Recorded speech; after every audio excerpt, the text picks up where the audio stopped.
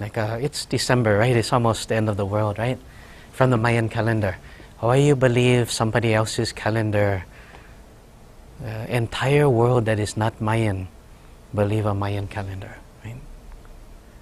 Did you know that they have more than one calendar? They have several calendars. When one calendar ends, you know they have so many calendars. They try to interpret something foreign to yourself that you cannot understand, that you try to interpret. Let's just go by Maya. What does Maya mean in Sanskrit? Maya means not that. Not that is implying the reflection of the moon on the water. Like the water reflects the moon, which is true, right? But what do we, how do we interpret the moon? How do we interpret knowledge from our own understanding? If we have limited understanding, when we see the reflection of the moon, what do we believe about the moon? When we see the truth, what do we see or focus on, or what do we interpret as the truth? So that's called illusion. So if you look at the book of uh, the, it's a fictional novel by Hermann Hesse of the Buddha. His mother's name is Maya. The reason is his mother is illusion, or not that. But he has to learn, right? He has his deep lessons. It's a fictional book. Read the cover on the back, it says fiction. So that book, uh, his mother is Maya, is illusion. So it means that you have to deepen your understanding about the world and the universe, patterns, rhythms, and cycles. You have to understand more than your own viewpoint. You have to understand multiple viewpoints. And you have to understand root meanings. You have to understand a lot. It means you have to do your homework. And then, as many viewpoints as you can see, it's like the blind man and the elephant. You still have Maya but a much more understanding, a higher, a higher skill of Maya, of illusion, of like maybe there's more meaning to what I see, but what I see is so much more than last year and the year before and the year before that. But Maya ultimately means not that or illusion. So Mayan would mean a person who, right? I don't have to explain that, right? So Mayan would also be a practice of seeking the truth, right? By expanding your perception, by developing and evolving your perception. Good way would be to do this mantra and understand what you're saying when you say the mantra. So, so uh, a Mayan thing would imply a lot, right? It implies a lot of homework. Right?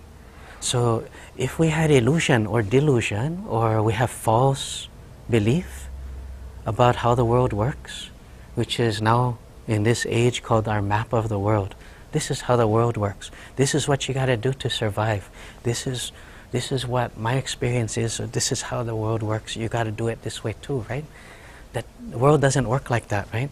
The world does work a certain way when you're very open, when you have great integrity and great sincerity. The world works a certain way.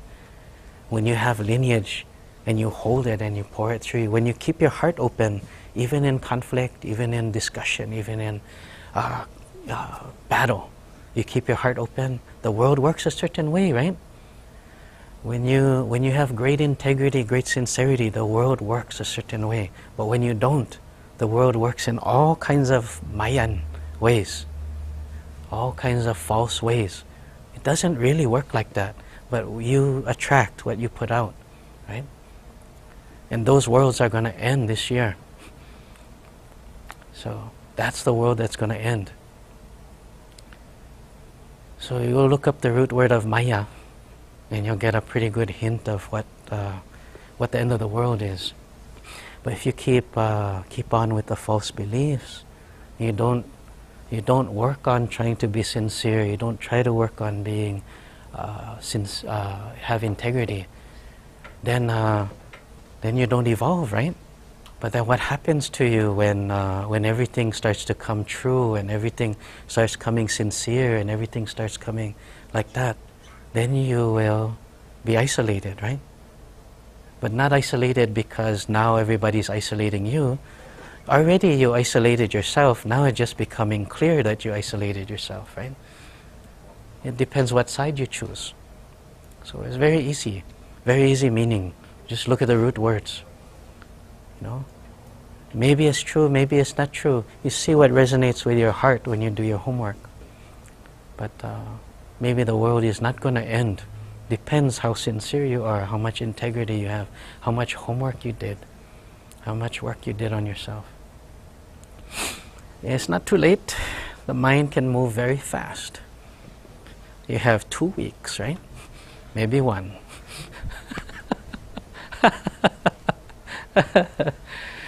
if you believe that some part of your mind, well, one small, narrow minded part of your mind has been so stubborn, has been so uh, pig headed and so tenaciously holding on to this one thing and isolating itself, you only use 5% of your brain if you function like that, right? Most people only use that part of What's happening to the other part of your brain that you don't use?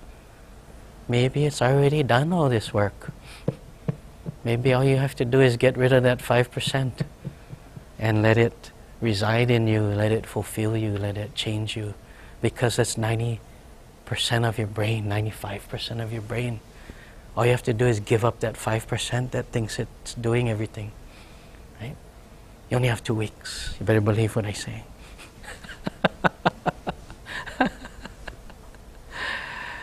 Do not abandon me, right?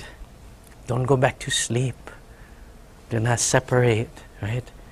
What happens in separation? What creates separation? Analyzing, right? Criticizing, comparing, judging. At the point that you start to evolve yourself, why go back to comparing yourself to others or comparing people to yourself or judging them or criticizing them? We're doing so well, right? Maybe our development does go like this, but we need a reminder, right? Don't go back to sleep. Try to stay, try to stay with the Om, you know. Try to stay connected. You know, while we're evolving, you know, we make mistakes. We veer from the path, right? But we try to stay on the path. Eventually, it still moves, but it stays very close to the center. It learns how to dip into the center and use that for power if if uh, 2012 comes, the end of the world comes, does that mean like uh, controlling shares of the world will start to resonate like that? Then it'll be more clear that you might be abandoning yourself, right, or isolating yourself, or doing something like that. When it becomes that clear to your mind, it means 90% of your mind is smart. Just that 5% is acting stupid, right? You know? It's not stupid, it's just acting stupid. All it has to do is give up resistance, right? Stubbornness, uh, tenacity, holding on to what? For what? Right? Why fighting? Right? Fighting for what? Right? So, make me indivisible. See, do not abandon me. Means do not split. Do not